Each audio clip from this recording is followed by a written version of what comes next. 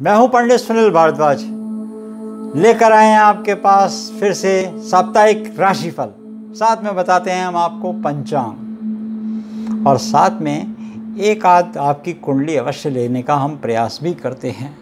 Video लंबा ना हो, इसलिए हम एक कुंडली तो अवश्य आपकी लेते हैं। Date of birth time of birth place of birth आप बहुत सारे लोग भेजते हैं। फिर भी हम एक कुंडली लेने का प्रयास अवश्य करते हैं। बात करते हैं सबसे पहले पंचांग की।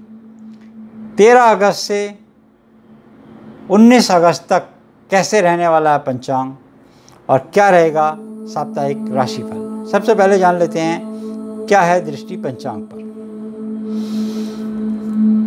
बात करते हैं, तेरह अगस्त, गुरुवार का दिन, रोहिणी नक्षत्र। रोहिणी नक्षत्र पड़ेगा चंद्रमा का भ्रमण वृषभ राशि में रहने वाले, रहने वाला है, जबकि नौमी गोकुल अष्टमी कहलाएगी, नौकुल और गोकुल अष्टमी कहलाएगी नौमी को।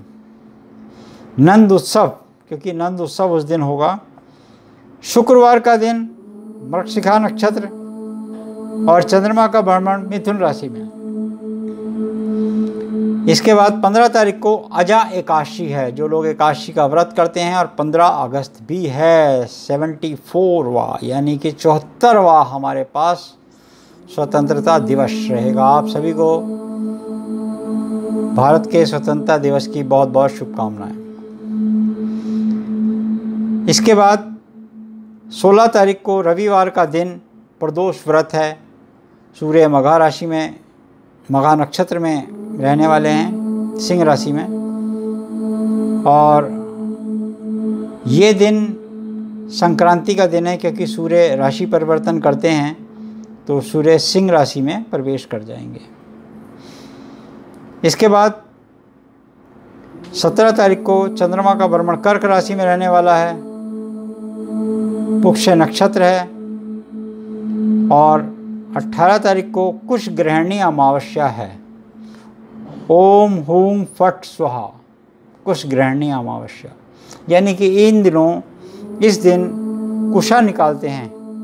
जो कुशा होती है, पवित्री पहनाते हैं जो पंडित जी तो वो कुशा इसी दिन ग्रहण करी जाती है। श्राद्ध मनाने के लिए कुशा के लिए ये हमारे शास्त्रों ने एक बहुत बड़ा योग बताया है कि कब हम कुशा निकालें, कब हम कुछ ग्रहण करें तो वो पवित्री बनाने की जो कुशा होती है, वो इसी दिन तोड़ी जाती है, ग्रहण करी जाती है। और बुधवार के दिन 19 तारीख को भाद्रपद की अमावस्या पड़ेगी, जो लोग मावस को दान देना चाहते हैं, ब्राह्मण को, ब्राह्मणी को, या लंगर आदि देना चाहते हैं, उनके लिए ये दिन बहुत अच्छा है, क्योंकि ये दिन अश्लेषा मंगलवार को पड़ा है और बुधवार को मगा नक्षत्र पड़ा है। ये भी गणमूलों का ही नक्षत्र है, यानी कि इन दो दिन अगर किसी बालक या बालिका का जन्म होगा तो उसको गणमूल अवश्य लगेंगे। यानी कि 27 दिनों के अंदर अंदर जैसा हम हर बार बताते हैं कि पूजा करवानी गणमूल की अनिवार्य हो जाती है। अब हम बात कर लेते हैं आपकी राशियों की। मेष राशि की जब हम बात करते हैं तो सबसे पहले हम ये भी समझ लेते हैं कि मेष राशि में क्या चल रहा है। भाई, मेष राशि में मंगल है। मंगल होने से एक बात का तो पक्का है कि आपके काम बन सकते हैं। आप हर काम, सोचे हुए काम का सपना साकार होता नज़र आ रहा है आपका। उतावला नहीं होना, जब तक काम पूरा हो, किसी को बताना नहीं है। संभाल के रखनी है अपनी बात को, कि ढंडोरा मत पीटने लगना तो काम बनने में संदेह हो जाएगा। उपाय क्या करें? बड़ा अच्छा उपाय है आपके लिए। सूजी का केसर युक्त हलवा बनवाएँ, और वो आप प्रसाद स्वरूप वितरण करें। जितने अधिक से अधिक लोगों को दे दें तो अच्छा है। नहीं है तो घर में भोग लगा के घर में ही खा लें। वृषभ राशि की बात कर लेते हैं। शुक्र की राशि है। शुक्र राहु के साथ मिथुन राशि में भ्रमण कर रहे हैं। अब स्थिति आपके पास जो बनी हुई है, वो एक बात तो ये है कि आपने अपने विचारों को मज़बूत तो बना लिया है। सोचना ये है कि आपके पार्टनर आपको कितना सपोर्ट करेंगे। आप हाँ मैं बहुत अच्छा हूँ। सामने वाले का मुझे पता नहीं। यही तो सोच है। बिज़नेस एक टायर पे नहीं चलता। दोनों के साइकिल है ना, अगले टायर में पंचर हो गया तो रह गई। पिछले में हो गया तो भी नहीं खींचेगी। दोनों की स्थिति बराबर होनी चाहिए। उपाय बड़ा सरल है। सबसे आसान है आपके लिए कि आप अपने घर के पास कोई मंदिर हो तो वहाँ पर आप ले जाकर सफ़ाई का सामान दे दें। कुछ भी दे दें। बहुत सारी चीज़ें होती हैं बाइपर होता है, बाल्टी होती है, मग्गा होता है, और जल से भर के दें। मिथुन राशि की बात करते हैं। बुध की राशि है। मिथुन राशि का ये तो स्पष्ट है कि बुध आदित्य योग बनाए हुए है, सूर्य के साथ है। अब, क्योंकि संक्रांति 16 तारीख को लगी है तो सूर्य के साथ आ जाएगी आपकी, इस सप्ताह में। 16 तारीख से आपको अचानक किसी चीज़ की उपलब्धि नज़र आएगी। आपके अंदर एंथू बहुत ज़्यादा बढ़ जाएगा। मैं ऐसा कर सकता हूँ, मैं सक्षम हूँ। और ये पॉजिटिव थॉट ही लानी है माइंड में फ्रेम में सेट करनी है। उससे आप सक्सेस भी होंगे। एजुकेशन में बच्चे हैं प्रमोशन के लिए आप जा रखे हैं, या आप व्यापार करते हैं, किसी भी तरीके का व्यापार करते हैं, कपड़े वाले तो विशेष। कपड़े का ही दान दे दो। किसी गरीब को दो और किन्नर को दो तो आपकी राशि बलवान होगी। कर्क राशि की बात करते हैं, चंद्रमा की राशि है। अब चंद्रमा का भ्रमण जो है, देखो, मेष राशि में भी रहेगा, चंद्रमा का भ्रमण सिंह राशि में भी रहेगा। तो स्थिति आपके पास बड़ी अच्छी है कि आप घर के लोगों की सलाह लें, बुज़ुर्गों की सलाह लें, वो आपके लिए हितकारी रहने वाली है। उनकी एडवाइस आपके काम आएगी। बिना किसी एक्सपर्ट के कोई डिसीज़न ना लें। मखाने की खीर का दान करें। सोमवार के दिन भोले बाबा को लगाएँ और फिर प्रसाद स्वरूप बाहर ना दे सके तो घर में ही खा लें।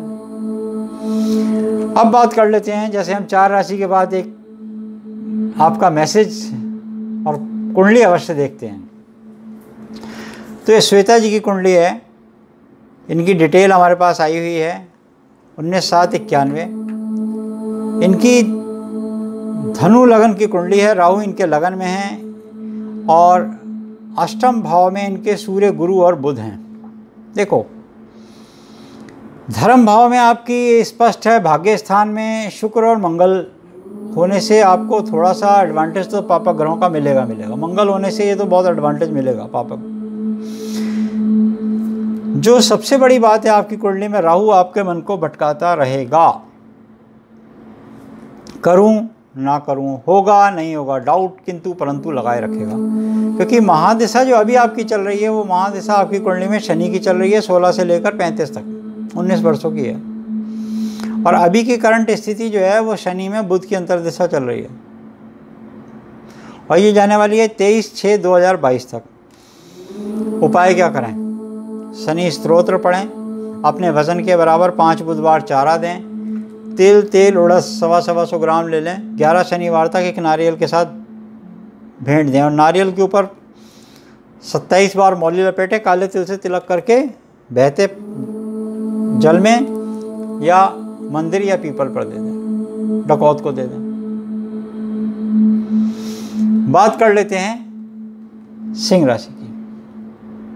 सिंह राशि वालों के लिए देखते हैं। सिंह राशि वालों की स्थिति तो भाई, एक बात तो अच्छी है। सोचे हुए कार्य आपके पूरे होते हैं या आपने बाहर जाने की सोची हुई तो अभी रुकें आप। वो आपके होने में थोड़ा सा समय लगेगा। क्रोध नहीं करना। क्रोध पे थोड़ा सा कंट्रोल रखना है। खान पीन के मामलों में विशेष रूप से ध्यान दें, बच्चों को वाहन देने से बचें। उपाय क्या करें आप? पाँच फल, पुजारी जी को ले जाकर भेंट दे दो। और रविवार के दिन से सूर्य को जल अवश्य दिया करो। कन्या राशि की बात करते हैं, बुध की राशि है।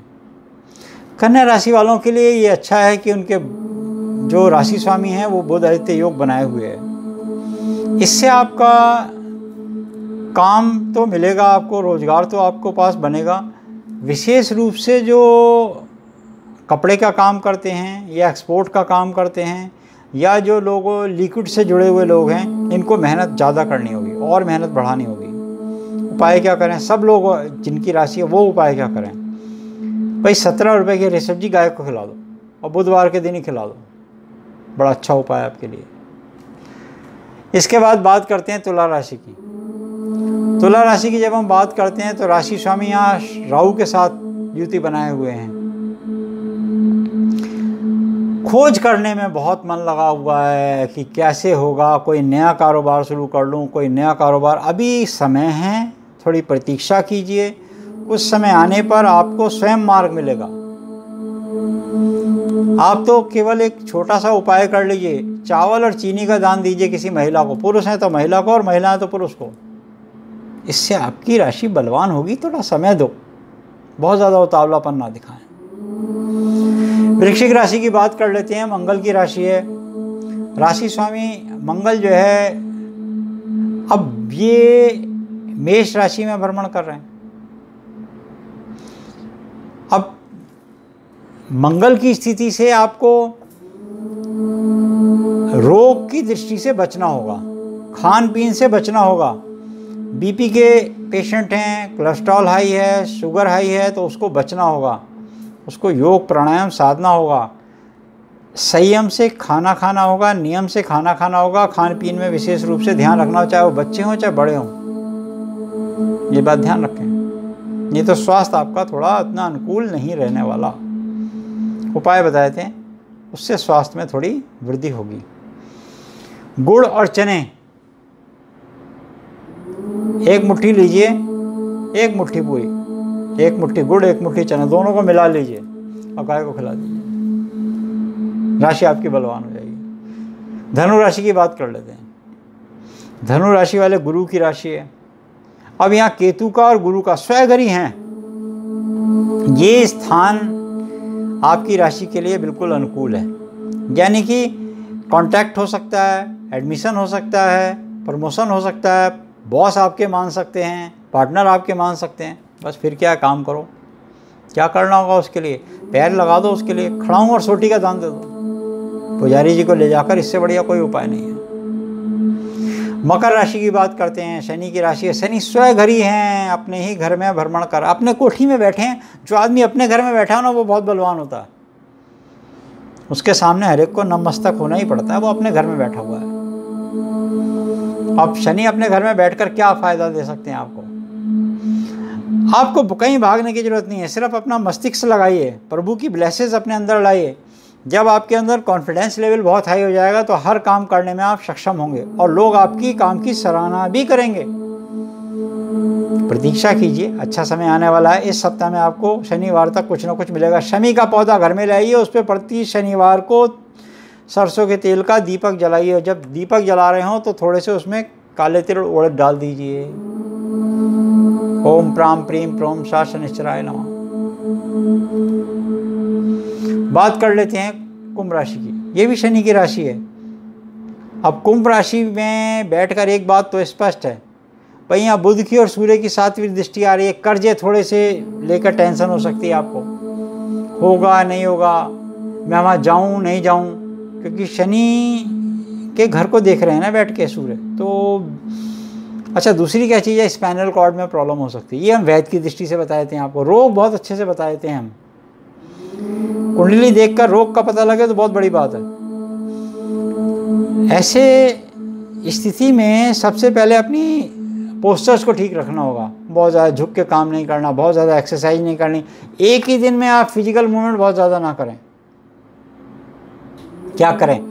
स्टील की कटोरी लें, उसके अंदर सरसों का तेल डालें, अपना चेहरा देखें, जीभ निकाल कर देखें और एक रुपये का सिक्का डालें या पाँच रुपये का, दस रुपये का, जो भी सिक्का डालें सामर्थ्य अनुसार दान दे दें। पात्र सहित दान दे दें। देखें, राशि बलवान होगी। आपकी स्पाइन की जो प्रॉब्लम है, वो नहीं होगी। बात कर लेते हैं मीन राशि की। मीन राशि की जब हम बात करते हैं तो ये स्पष्ट है कि गुरु का योग आपके लिए अनुकूल है। क्योंकि इसमें गुरु आपके काम बनाने वाले हैं। जैसे जो बच्चे एजुकेशन के लिए सोच रहे थे कि मैं अब ये करूँगा प्लानिंग करूँगा प्लानिंग के लिए बहुत अच्छा समय है। आपकी जॉब की प्लानिंग के लिए, आपके रोज़गार की प्लानिंग के लिए मैच्योरिटी का समय है। इस समय मैच्योरिटी आपकी सक्सेस हो सकती है। सच्चे मन से, ईमानदारी से अगर आप आगे बढ़ेंगे तो आपको सफलता अवश्य मिलेगी। करें क्या? ये बड़ी बात है। करना आपने ये है। भाई, पीपल पर एक सूत ले लें। 108 बार या कम से कम सात बार तो लपेट ही दें। ओम नमो भगवते वासुदेवाय का जाप करते रहें और पीपल पर सूत लपेट दें। देखें आप चमत्कार। जो सोचा है वो पूर्ण होगा। बस हमने पहली शर्त रखी आपसे सच्चे मन से। करके देखिए।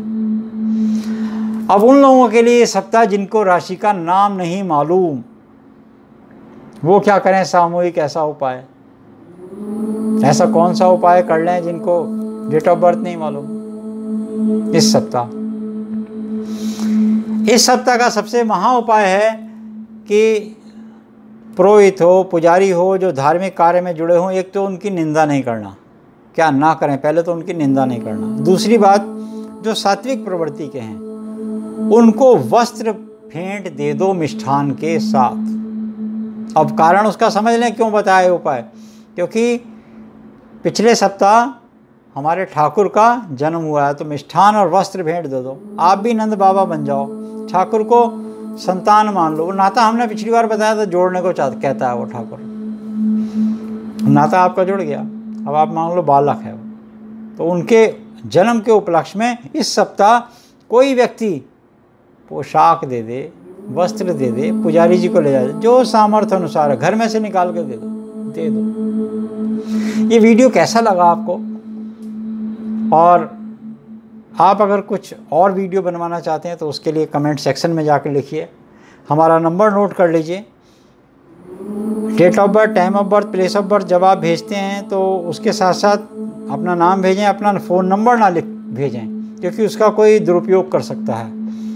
जो नंबर हम आपको बता रहे हैं, उन्हें नोट कर लीजिए, उन नंबर पर ही आप व्हाट्सअप कर सकते हैं, अपनी डिटेल भेज सकते हैं। Nine eight double one six eight five eight three six, दूसरा नंबर भी नोट कर लीजिए, nine eight double one six two five eight three six, इन नंबर पर आप व्हाट्सअप कीजिए। जाते जाते आपको एक बार फिर से कहेंगे, इस चैनल को लाइक कीजिए, शेयर कीजिए, सब्सक्राइब कीजिए। जय श्री कृष्ण। धर्म और संस्कृति से जुड़े रहने के लिए सब्सक्राइब करें धर्म डॉट टीवी और लेटेस्ट अपडेट के लिए बेल के आइकन पर क्लिक करें।